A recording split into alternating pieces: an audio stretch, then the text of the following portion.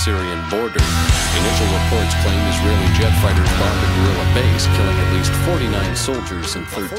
No unidentified Dan went berserk last night, opening fire with a 12-gauge shotgun in a crowded downtown restaurant. 14 people are dead. Crackdown on laboratory experiments on animals is expected to become law today. Animal rights activists have been pushing for the bill for nine years and have taken part in mass demonstrations. Police have smashed a multi-million dollar drug smuggling ring.